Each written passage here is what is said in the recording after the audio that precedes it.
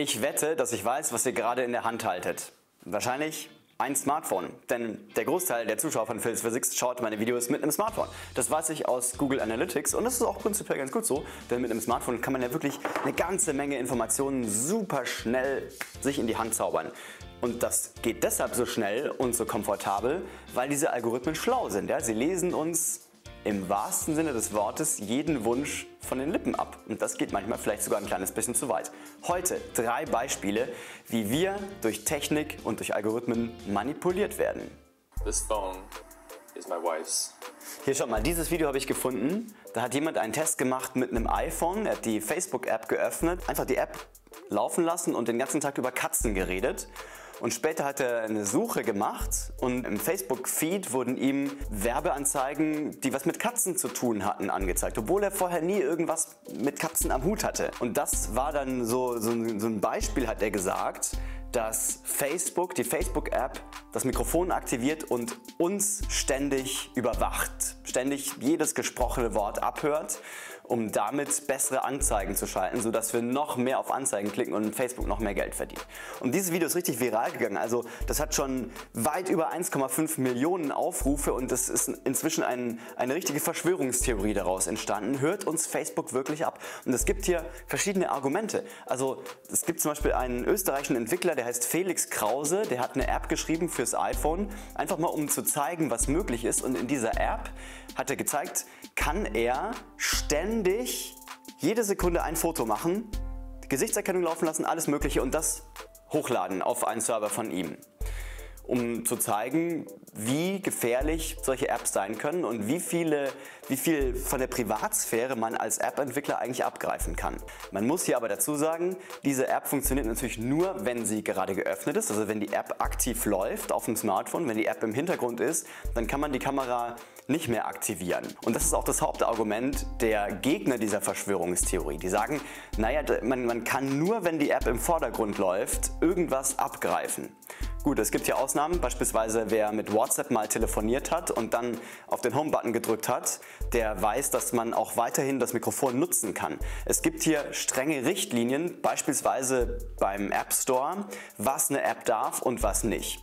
Und diese Richtlinien, die verbieten zum Beispiel, dass man im Hintergrund das Mikrofon aktiviert oder die Kamera und so den Nutzer ausspäht. Man kann natürlich sagen, ja okay, nur weil das in den Richtlinien steht, heißt das nicht, dass das auch wirklich umgesetzt wird. Es kann ja sein, dass Facebook und Apple einen Deal geschlossen haben. Aber Gegenargument wäre, dass Apple natürlich ein Interesse daran hat, dass Facebook einen nicht die ganze Zeit ausspäht. Wenn das rauskäme, dann würden die Leute schlagartig das Vertrauen in iPhones und in Facebook verlieren. Und das ist nicht im Interesse von Apple. Deshalb wird Apple wahrscheinlich gerade bei so großen Apps wie Facebook, Instagram oder WhatsApp sehr genau kontrollieren, was diese Apps machen, was sie dürfen und was nicht. Denn der App Store, wenn ich eine App schreibe und die dann in den App Store submitte, dann wird der Code tatsächlich analysiert. Da sitzen im Zweifel sogar echte Menschen dran. Vieles ist sicherlich automatisiert, aber im Zweifel wird das von echten Menschen kontrolliert, was diese App alles macht. Und insofern wird Apple da sicherlich zumindest die Hände drauf haben.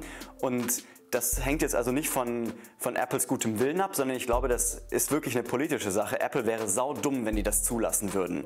Denn dann würde ich kein iPhone mehr kaufen und ganz viele andere Leute wahrscheinlich auch nicht. Und eine Frage, die man sich jetzt wahrscheinlich stellt, hm, naja, also dieses Video hier zeigt jetzt, wie, wie er gesprochen hat und später hat man im Newsfeed auf Facebook irgendwelche getargeten, getargeten, getargeteten, heißt es glaube ich, Werbeanzeigen gesehen. Aber, also Gegenargument 1 für dieses Video ist, der zeigt uns das immer an völlig verschiedenen Tageszeiten. Ja? Hier ist er mal draußen auf seiner Terrasse, hier ist es mal nachts, da ist er woanders und hier ist er wieder in seinem Bett. Keiner weiß, was in der Zwischenzeit passiert ist. Er kann genauso gut auch zwischenzeitlich irgendwelche konkreten Katzenvideos gesucht haben, woraufhin ihm dann diese Sachen vorgeschlagen werden, einfach nur um ein virales Video zu generieren. Also ich möchte diesem Menschen, Neville heißt der, nichts Böses unterstellen, aber dieses Video ist für mich noch kein Beweis.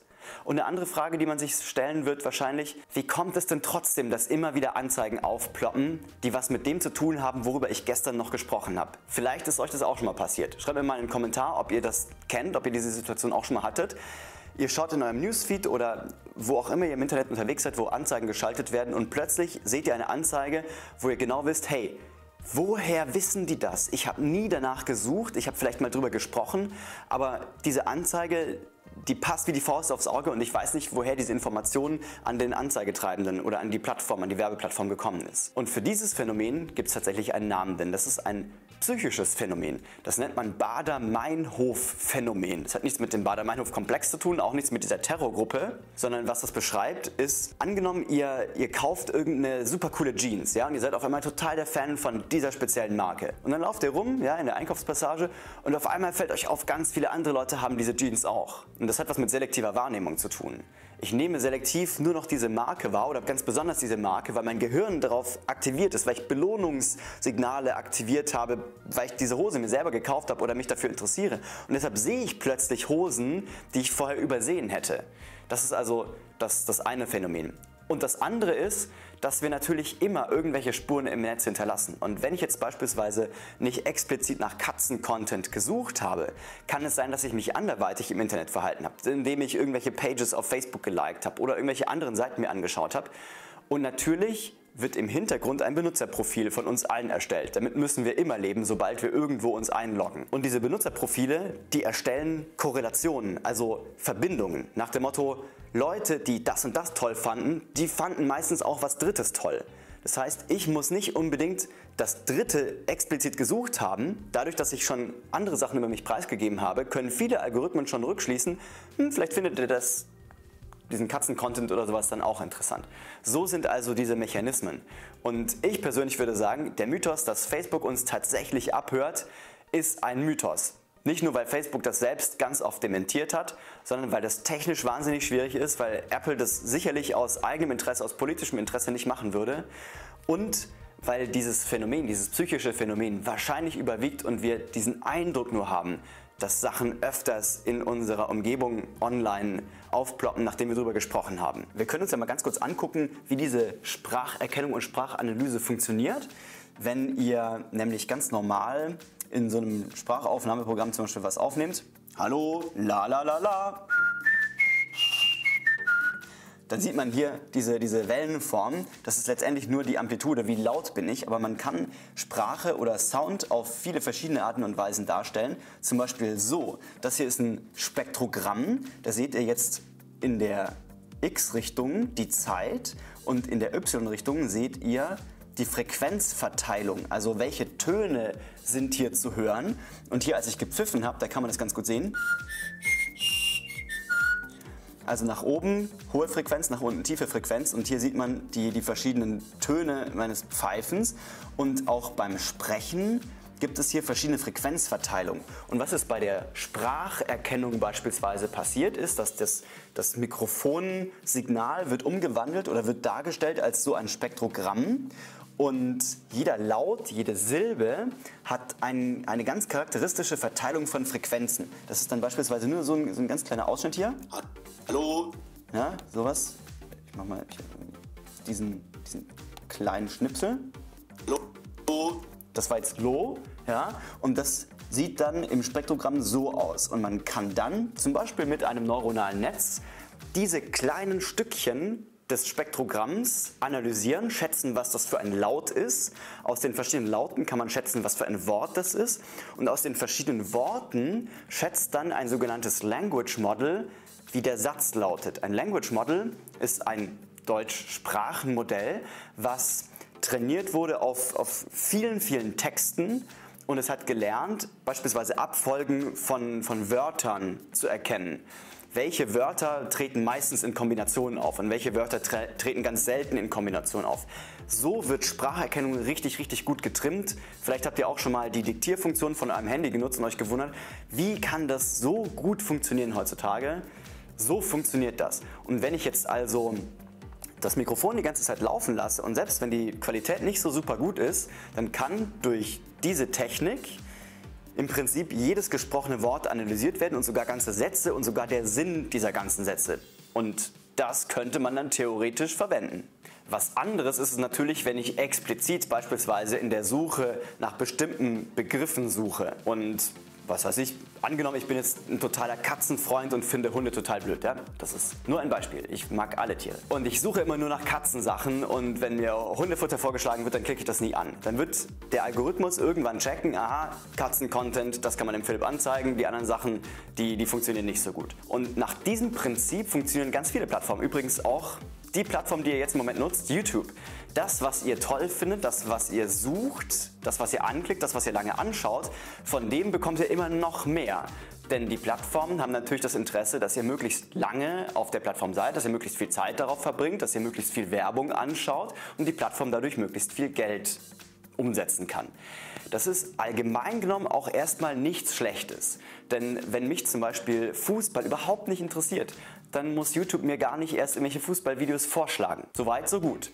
Ein Problem ist das aber, wenn es um meinungsbildende Themen geht, also beispielsweise Politik. Denn ich persönlich bin der Meinung, dass man sich nur dann eine wirklich fundierte politische Meinung bilden kann, wenn man das komplette politische Spektrum im Blick hat zumindest. Das heißt nicht, dass man alles gut findet, aber dass man die verschiedenen Positionen kennt und die Argumente. Ja, das politische Spektrum geht ganz, ganz weit, von links nach rechts. Es gibt viele, viele verschiedene Standpunkte.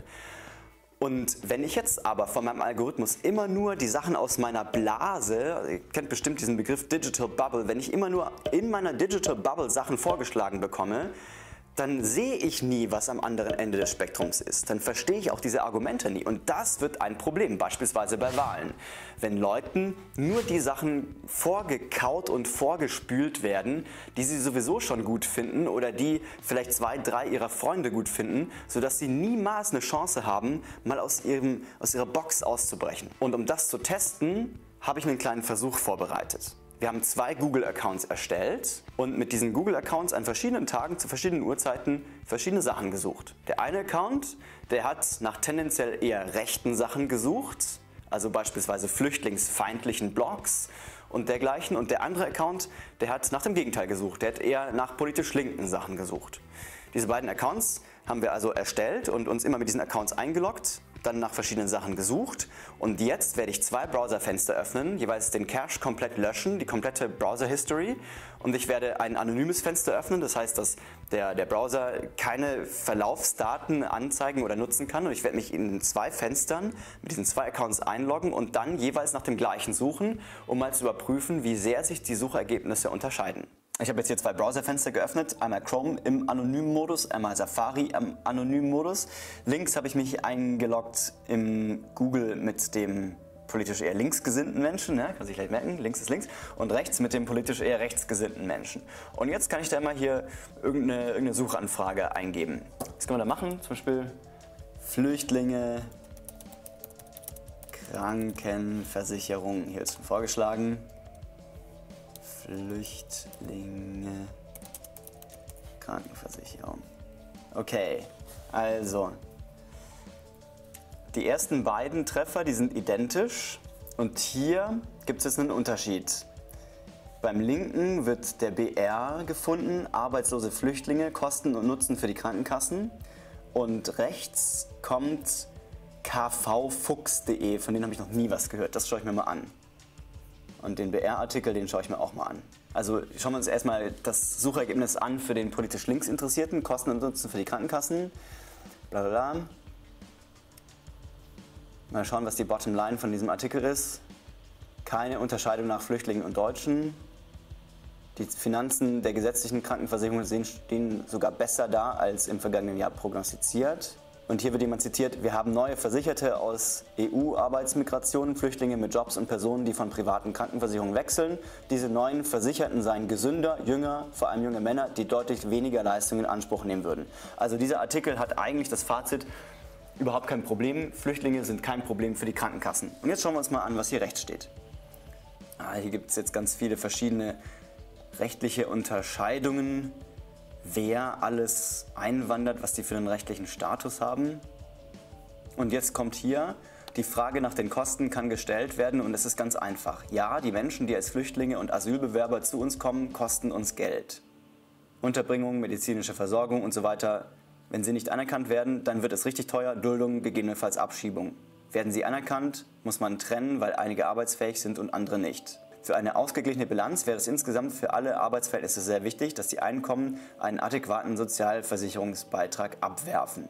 Also dieses Fazit ist jetzt nicht wirklich tendenziös, würde ich mal sagen, aber trotzdem wird hier ganz deutlich erstmal gesagt, Flüchtlinge kosten mehr Geld. Aber interessant fand ich schon, dass die, der dritte Treffer sich hier eindeutig unterschieden hat im Gesamttenor. Beim linken tatsächlich eher etwas positiv, beim rechten eher etwas kritisch. Mal gucken, was als nächstes kommt. Die FAZ wird beim politisch Linken angezeigt als nächstes. Flüchtlinge entlasten laut GKV-Chefin die Krankenversicherung. Das passt ja in unser Bild. Und hier beim Rechten, Flüchtlinge, so läuft die medizinische Versorgung. Hier wird der Spiegel gebracht. In Bremen etwa erhalten Flüchtlinge fast alle Leistungen der gesetzlichen Krankenversicherung. Wer jetzt also kontra Flüchtlinge ist, der würde hier wahrscheinlich sich schon wieder aufregen. Der würde hier wahrscheinlich schon wieder sagen, ja, super, was die für Leistungen alle kassieren. Hätte er dagegen den Artikel links bekommen, dass Flüchtlinge die Krankenversicherungen entlasten, hätte er vielleicht sich seine Meinung ein kleines bisschen anders gebildet. Und das ist ja wirklich interessant. Also was in den Suchen alles auftaucht, ist keineswegs immer das allgemein Beste, was man neutral für eine bestimmte Suchanfrage erwarten würde, sondern es hat tatsächlich, wie mein wirklich billiges Experiment gerade gezeigt hat, enorm damit zu tun, was wir in der Vergangenheit gesucht haben. Und es gibt für euch ganz viele Möglichkeiten, dieses Problem auszuräumen. Also beispielsweise immer in Browsern surfen, wo die Browser History, der Verlauf gelöscht wird. Ja, bei Chrome beispielsweise und bei Safari geht das ganz einfach. Man kann sich so ein anonymes Fenster öffnen und dort Sachen anzeigen lassen, die äh, die überhaupt nichts mit irgendeiner mit einer History zu tun haben können, weil die gar nicht gespeichert wurde. Ihr könnt sogar noch einen Schritt weiter gehen und Anonymisierungsdienste nutzen, so wie Tor beispielsweise, denn auch eure IP, also die die Internetadresse, die ihr habt als Mensch, der sich im Internet bewegt, wird manchmal mitgenutzt, um Daten über euch zu sammeln. Ich verlinke euch in der Infobox mal ein paar Tipps. Vielleicht habt ihr auch Tricks und Tipps. Vielleicht gibt es ein paar von euch, die all diese, diese Hinweise schon ähm, umsetzen und vielleicht noch weitere Tipps haben. Dann schreibt doch unbedingt mal einen Kommentar, wie ihr dazu beitragt, dass die Suchergebnisse und die Meinungsbildung neutral bleiben.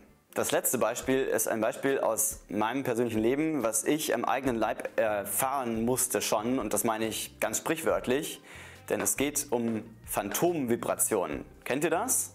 Manchmal denkt man, das Handy vibriert und dann schaut man drauf, aber dann war es doch nichts. Was ist da los? Ist der Muskel schon irgendwie, spinnt der Muskel oder hat es vielleicht doch vibriert? Tatsächlich haben Forscher das schon ansatzweise untersucht. Das ist ja ein relativ neuartiges Phänomen, weil Smartphones ja noch nicht so lange gibt, jetzt mal im medizinhistorischen Kontext gesprochen. Und Forscher sind der Meinung, dass das tatsächlich ein, ein Phänomen ist, also dass es, dass es ähm, bei vielen Menschen auftritt. Und die, die Erklärung der Wissenschaftler ist, dass das Gehirn akzeptiert hat schon, dass das Handy ein Teil des eigenen Körpers ist, der sich ab und zu mal meldet, der ab und zu mal vibriert. Und das ist ja wohl, das ist ja wohl der Wahnsinn, oder? wenn wir heute an einem Punkt angekommen sind, wo wir das Handy als Teil des eigenen Körpers empfinden, wo zur Hölle soll das noch hinführen?